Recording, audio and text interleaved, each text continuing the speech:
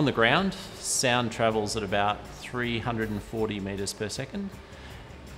If you go faster than that, then it's supersonic. And if you go more than about five times faster, it's called hypersonic. And there's no real um, magic number for how fast you're going. But what happens is, as you get more hypersonic, so as you go faster and faster, the heating effects of the flow start to become really important. So this facility here can make a flow that's like flying at 40 kilometers altitude at 10 times the speed of sound, or it can make a flow that looks like a vehicle entering into a planetary atmosphere like Mars, but only for a millisecond, only for a thousandth of a second.